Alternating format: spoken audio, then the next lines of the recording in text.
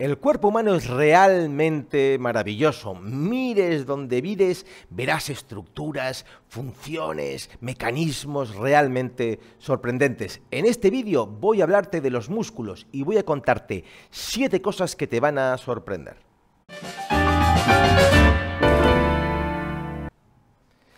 Te voy a contar siete curiosidades sobre los músculos. La primera es que la masa muscular forma entre el 35 y el 40% de nuestro peso.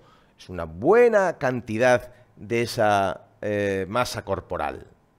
Lo segundo, los músculos generan el 85% del calor corporal.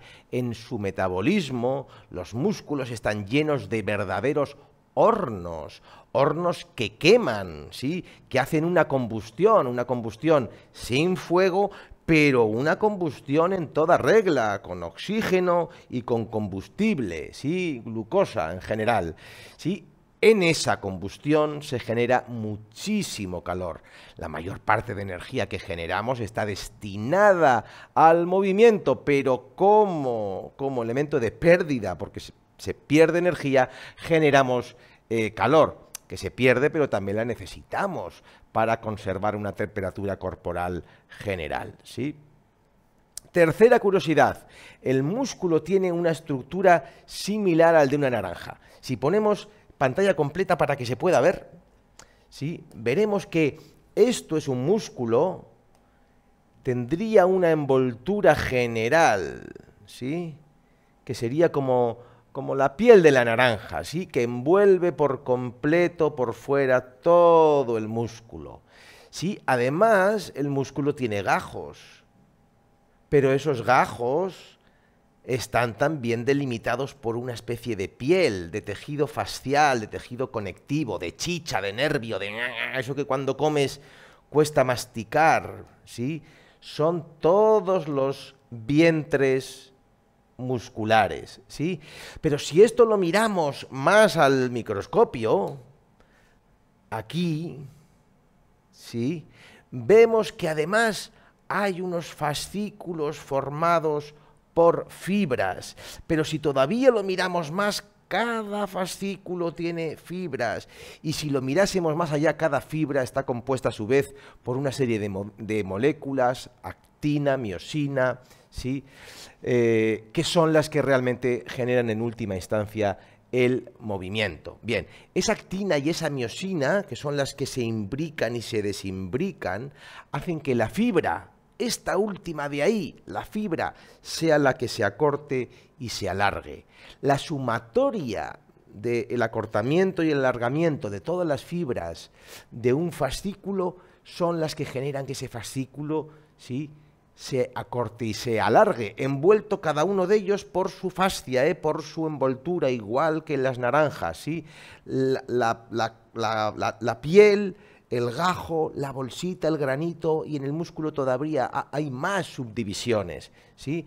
Cuando se contrae el zumo, vamos a decir, tira de la piel de su bolsita, todas las pieles de todas esas bolsitas tiran del gajo, el gajo se contrae, toda la contracción de todos los gajos hacen que la naranja se contraiga. El músculo hace exactamente lo mismo, es un mecanismo verdaderamente maravilloso.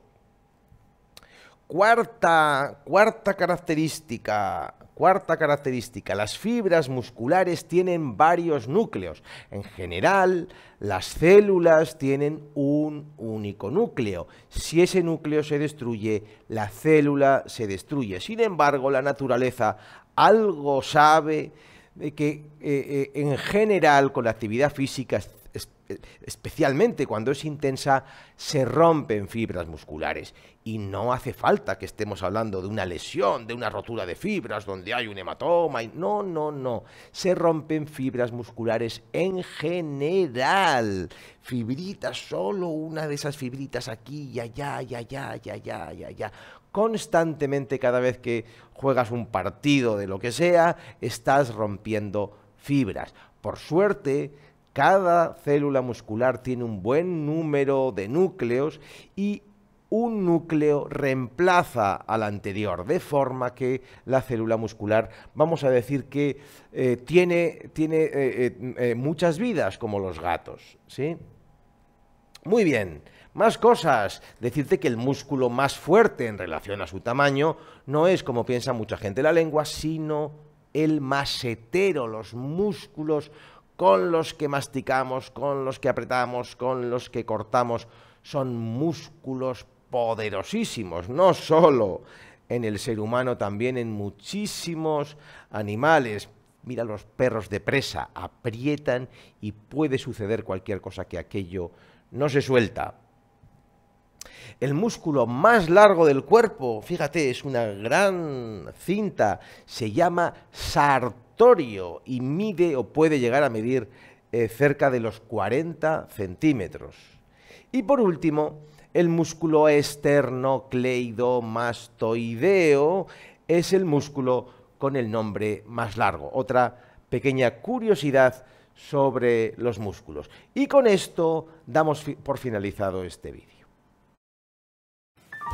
Bueno, espero que este vídeo te haya gustado, que te sirva, que te ayude. Ya sabes que puedes ver otro montón de vídeos aquí mismo, visitarnos en nuestra web fisioterapiaonline.com o suscribirte a este, tu canal de Fisio Online.